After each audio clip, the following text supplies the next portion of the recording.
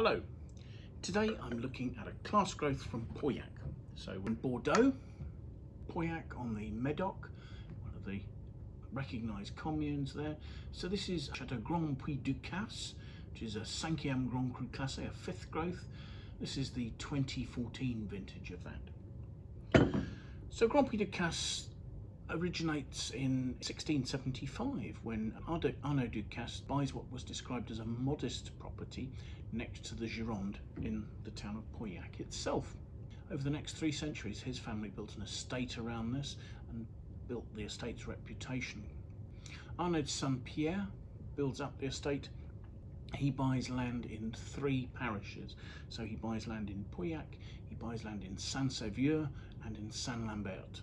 And in 1820, Pierre's son builds a winery, which means that for decades, Grand Puy Ducasse is pretty much the only estate in this part of the Medoc that's vinifying its own wine, that's making its own wine. In 1855, with the classification of the Medoc and Sauternes, the estate is classified as a fifth growth.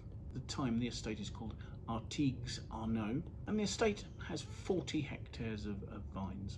Evidently, these are spread over 11 different soil types. They claim the benefit of that is that this is the, the only property that truly shows the entire diversity of Pauillac's soil types. So the estate's vineyards are divided into three plots. There's a northern section that just lies to the south of Pontet-Canet, Mouton Rothschild and Lafite. There's a central section that covers the, the Grand Puy Hill, which is a low hill. And then the southern section of vines sits on the, the plateau of Saint-Lambert. Much work was done in the 1990s to restructure the vineyards, and I think the emphasis there was to ensure that the Cabernet Sauvignon was growing primarily on the, the silica gravels, the warmest gravels, the most free draining soils, and that Merlot was was being planted on the more sandy gravel soils. Current cepage of the vineyards is about 62% of Cabernet Sauvignon to 38% of Merlot. And average vine age is about 34 years. 2004, ownership of the estate changed as it was bought by CA Grand Crus, which is a, an offshoot of Crédit Agricole, a French bank.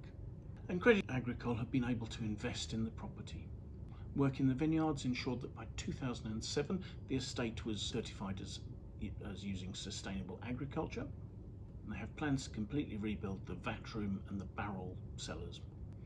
Now the 2014 vintage is, I believe, a blend of 50-50 Cabernet Sauvignon and Merlot.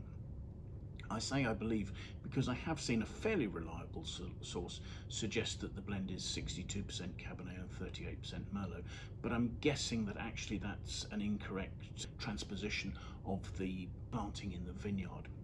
So the other source I've seen says 50-50, but I, I think I'm trusting that slightly more. The consultant enologist in 2014 was somebody called Hubert de Bouard. Hubert de Bouard, uh, the owner of Chateau Angelus in Saint-Emilion. 2014 as a vintage didn't start promisingly. There was a wet spring and quite an overcast early summer. However, at the end of August, an Indian summer started and, and conditions were dry and warm right the way through to the end of October. The grapes for Grand du were harvested between the 1st and the 18th of October. Everything was handpicked, handpicked into shallow cages, cagettes, with the idea that the, the fruit is not crushing other fruit beneath it in, in transport to the winery. There was a manual sorting went on in the vineyard, and then when the fruit arrived at the winery, it was all put through an optical sorter, so mechanically taking out any fruit that's undersized, that's damaged, that's the wrong colour, removing matter other than grapes. So this will have been intensively selected prior to fermentation. Fermentation goes on in temperature controlled stainless steel tanks And when it came to doing the malolactic conversion for this wine, not everything went through its malolactic conversion in barrel because the 40 hectare estate, is quite a large production uh, and that would be quite time consuming. But 30% of the oak used was new. So uh, those new French oak barrels were used to put that portion of the wine through its malolactic conversion in barrel. The rest un underwent malolactic conversion in tank. Everything was then put into barrel so there'll be French oak, there'll be 225 litre barriques, and everything aged in barrel for 18 months. So fairly standard way of producing a Grand Cru Classe with some good elements of selection going on there. So let's have a look at the wine, shall we? Instantly, I can certainly seeing it against a, a white surface here. That's a deep, dark, pretty much opaque wine. It's got a sort of a, a, a ruby red colour, certainly a black red. I'm swirling it. The wine has 14% alcohol and it's forming quite generous um, tears on the side of the glass as I swirl it. It's not surprising at all. So let's see what we make of the aroma, shall we?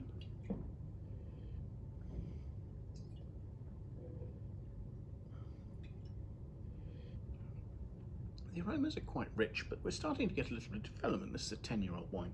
So I'm getting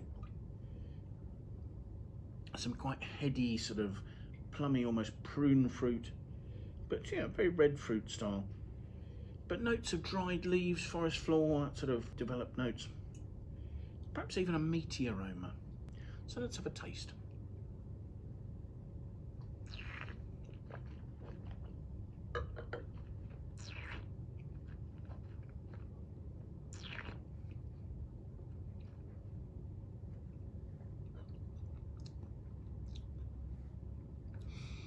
Medium to full bodied.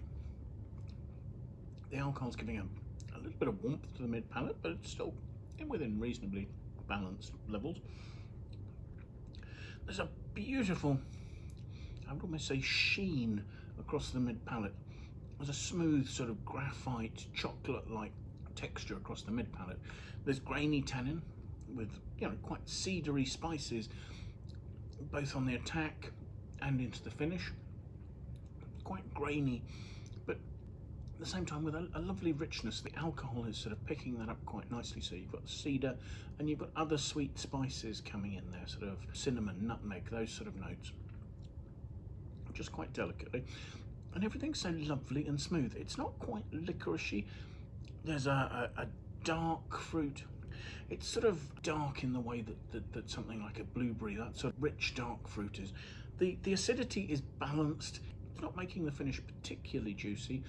Having gone from the sort of dark fruit core, there's a little bit more of a sort of red fruit, more towards sort of Loganberry, perhaps boysenberry, but Loganberry raspberry sort of note more on the finish, along with the cedar that's structuring that, giving it some quite good length. I'm not sure this is quite as open as it's going to be in a couple of years' time. I, I think perhaps a little more patience with this would pay some dividends. But the beautiful texture, I mean, yes, it's got some uh, some spicy grip from the tannins, but actually the lovely smooth texture, the sort of chocolatey graphite notes through the, the mid palate are very attractive. There's a nice ripeness, there's no leafiness, you know, there's no element of tobacco leaf or anything like that in the in the notes. I, I mean, I'm saying there's no leafiness, there's no fresh leafiness. There's a, I'm talking about the developed aromas that are not so obvious on the palate actually. Those have yet to, to come through to that stage. And yes, there's a nice presence in the mouth and a nice richness, but I, I, don't think the finish is quite as open as I'd like yet. I'd suggest giving this wine a bit, a bit, bit more time. Looking at the Wine Searcher aggregated score, that comes in at 90 on this. I, I think probably that's pretty fair for where the wine is at the moment. But actually, I think on reassessment in a couple of years' time, I wouldn't be surprised to see one or two critics increase their score one or two marks. I, th I, th I think that's got the potential to exceed that ranking ever so slightly. So I hope you found that interesting. Thank you very much for joining us. If you'd like to watch more of these tastings, the best answer is to sign up and follow us on, on YouTube. That would be fantastic if you could do that. And that way you can set a notification to make sure that you're alerted when we publish a new tasting. If you have any comments you want to leave, please pop those in the box below. We'd really like to hear what you think about the wines we're looking at, the tastings we're doing, or anything else related to that. If you have friends you think would like to see the video, please do forward it to them.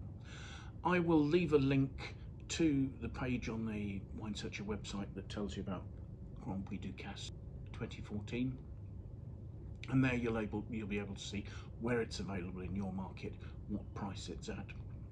There will be other detail there if you if you look at the profile tab, and also there's a price history the various critics' reviews are available to look at there. So thank you again for joining us, and do please try and take some time and come and join us for another tasting in the near future, won't you? Thanks again. Bye for now.